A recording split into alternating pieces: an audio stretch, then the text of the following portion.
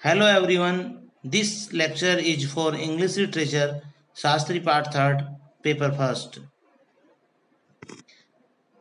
Today we will study the famous poet John Keats' poem Ode to Autumn. First of all, we will know about the famous poet John Keats. John Keats was born on 31st October 1795 and he was died on 23rd February 1821 in the age of 25. John Keats was an English romantic poet. He was one of the main figures of the second generation of romantic poets along with Lord Byron and P.B. Shelley. Despite his works having been in publication for only four years before his death from tuberculosis at the age of 25. Although his poems were not generally well received by critics during his lifetime, his reputation grew after his death, and by the end of the 19th century, he had become one of the most beloved of all English poets. He had a significant influence on a diverse range of poets and writers. Jorge Luis Borges states that his first encounter with Keats' works was a great experience that he felt all of his life.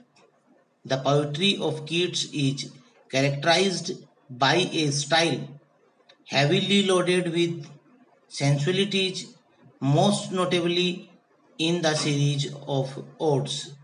This is typical of the Romantic poets as they aimed to accentuate extreme emotion through an emphasis on natural imagery. Today, his poem and letters are some of the most popular and most analyzed in English literature. Some of his acclaimed, some of his most acclaimed works are Ode to Nightingale, Sleep and Poetry, and the famous sonnet on first looking into Chapman's Homer. Then we come on the poem Ode to Autumn.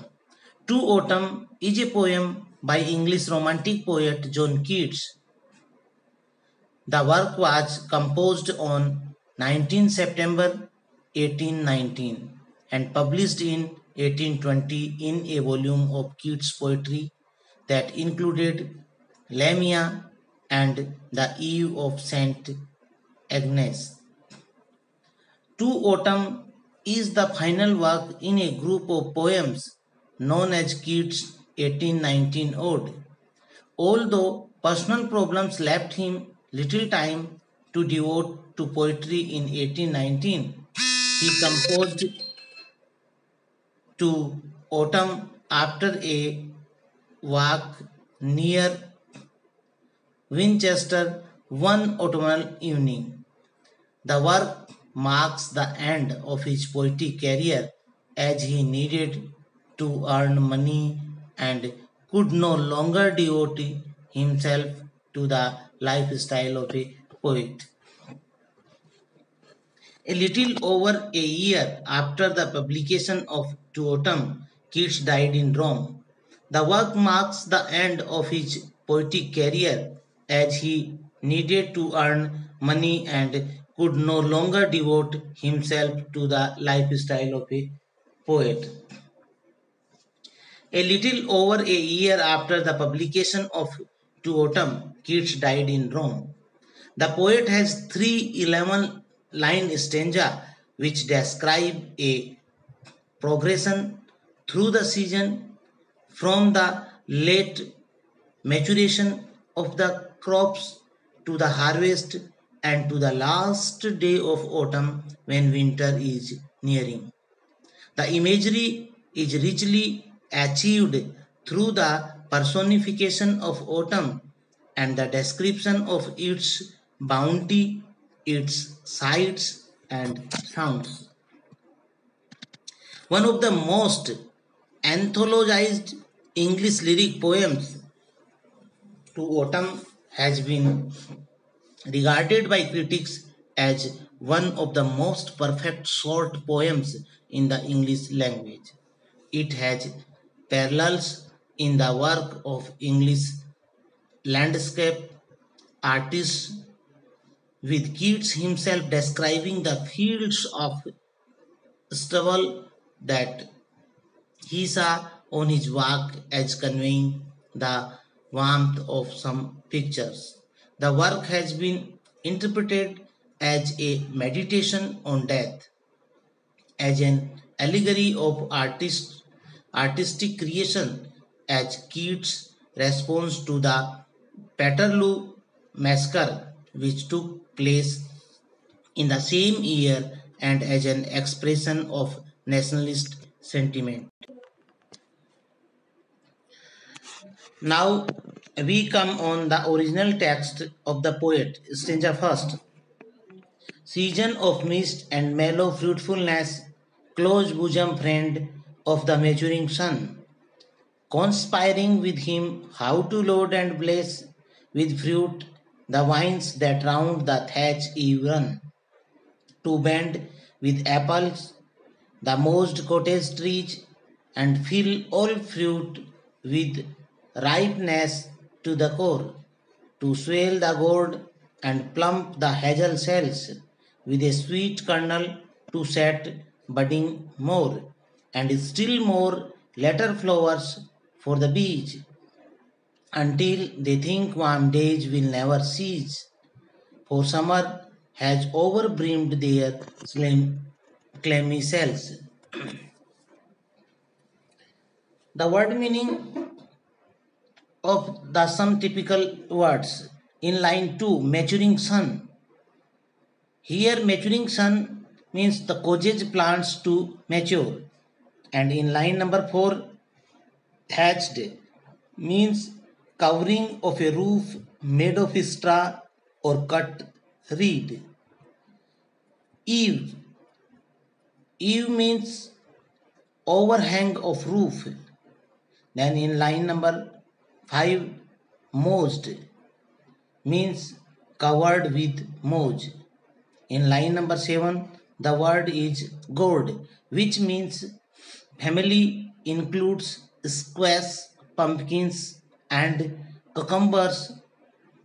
And the another word, which is hazel, which means the hazel tree that produced edible hazelnuts. In line number 11, the word is over. Poetic which means poetic form of over, thus the cells are overfilled. The word is cell, means honey filled cells or honeycomb in the bee hive. then we come on the paraphrase of the stanza first. Autumn, the season associated with mist and a general sense of calm, abundance, you are an intimate friend of the sun, whose heat and light helps all these fruits and vegetables grow. You work closely with the sun to make lots of fruits grow on the vines that wrap around the roof edge of the farmhouse. You work to make so much fruit grow that it weight down the branches of the moji apple trees that grow outside the farmhouses. Together, you and the sun make every fruit completely ripe. You make gourd, swale, and hazel cells grow fat with a sweet nut inside. You make the flowers grow new buds and keep growing more. And when these buds bloom, bees gather the flowers pollen. Those bees think your warmth will last forever because summer brought so brought so many flowers and so much pollen that the beehives are now overflowing with honey. There is no doubt that personification is at work in this wonderfully balanced ode. From the first three lines, it is crystal clear that the sun, a male symbol associated with Apollo, the Greek god, is conspiring with a partner who is a close bosom friend of the opposite sex. This female could be Demeter, the Greek goddess of agriculture and natural fertility. They combine their energies to load, blaze, bend, fill, swell, pump, and set all the flora. Harvest time has arrived, and there is a bounty secretly produced by these powerful spirits. Not the sensuous language, the soft cons- consonant echoing M, H, and F, the contrasting short and long vowels reflecting the tension at work as the whole plant word comes to fruition. The first stanza is one long sentence taking in cosmic sun and microcosmic bee and cell building into a heaped and humming climax onomatopoeia filling the last line then we come on the second stanza who hath not seen thee oft amid thy store? Sometimes whoever seeks abroad may find thee sitting careless on a granary floor, thy hair soft lifted by the winnowing wind, or on a half reaped fro, sound asleep, dosed with the fume of poppies, while thy hook spares the next wreath and all its twinned flowers. And sometimes, like a gleaner, thou dost keep steady thy laden head across a brook, or by a cider press with patient look, thou watchest the last oozing hours by hours. then we look some typical words of this stanza. In the line number first of this stanza, the word is store, which means an abundance, a great quantity, a storehouse or a warehouse. Then the archaic, you, autumn personified. Then in line number three, granary, a storehouse for grain, often after it has been threshed.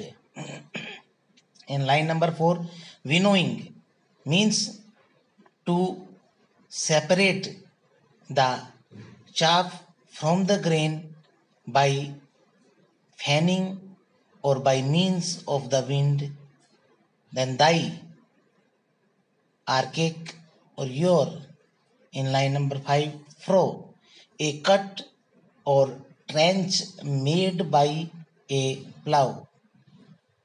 Poetic usage a plowed field. Then in line number 6 drowsed which means made sleepy. Hook a sickle or scythe used a harvest grains and other crops then puppy. Puppies used to grow in field of grain. Certain puppies are the source of opium. In line number 7 sweat which means the sweep of a scythe in mowing, the path cut in one sweep of a scythe. Then the word is twinned, which means poetic form of entwined or twisted. In line number 8, the word is gleaner, which is used for a person who gathers what the reapers have left in a field.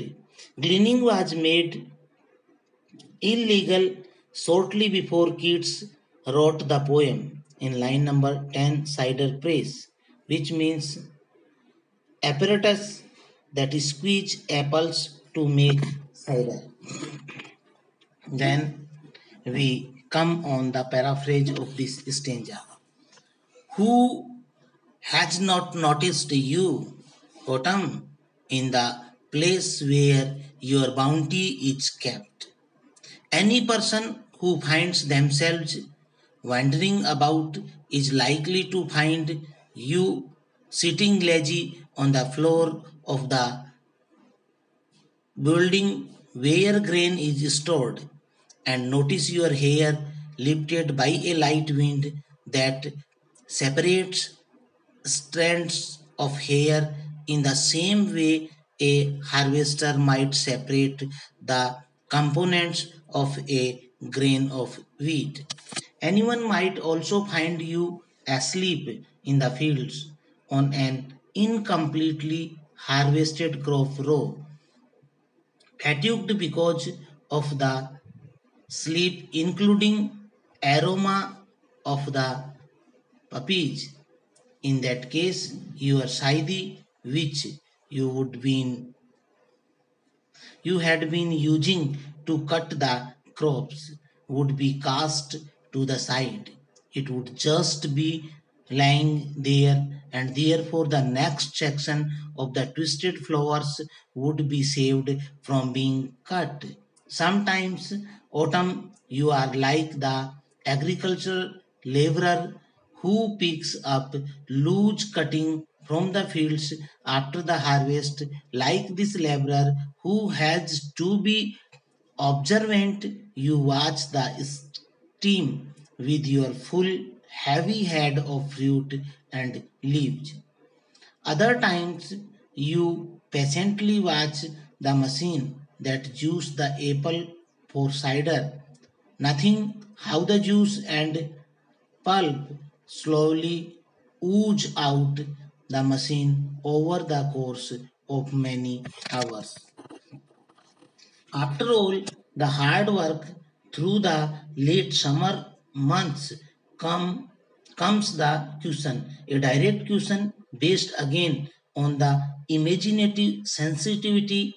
Perhaps this female spirit, this god, goddess, near exhaustion now relaxes even sleep. Stasis has been reached. The speaker suggests that her hair is soft lifted by winnowing wind, an alliterative onomatopoeic line the conjures up whistling or winning of horses. This female spirit overlooks various aspects of the harvest now that the reaping, threshing, and gleaning has finished. She takes her time as the apple juice ferments, not the languid, slow feel of the last line with its slow, long vowels, almost an adagio. Then we come on the third stanza. Where are the songs of spring? Are a where are they? Think not of them. Thou hast thy music too. While beard clouds bloom the soft dying day and touch the subtle plains with rosy hue, then in a wailful choir the smell nuts mourn. Among the river shallows born aloft, or sinking as the light wind lives or dies, and full grown lambs loud bleat from hilly bourne. Hedge crickets sing, and now with terrible soft the red breast whistles from a garden cropped, and gathering swallows twitter in the skies. Then we come on some typical words in this stanza. The line number third in this stanza, the word is used bared clouds, which means thin, horizontal clouds, which resembles bar or strips. In line number four, the word is used stubble, which means the dried stumps of wheat and other grain left after reaping.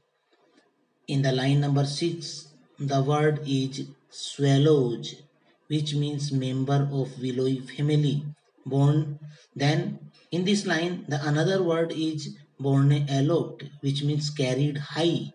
In the line number 7, the word is used born, which means domain of or realm and in line number 8 the word is used cropped which means a small enclosed field then we come on the paraphrase of the stanza third. Where is the music that characterizes spring? For example bird song. I repeat where is it? Don't think about the spring and its typical music. You have your own music. The background of your music is a scene in which beautiful shadowed clouds expand in the evening sky and filter the sunlight such that it casts pink upon the fields which have been harvested.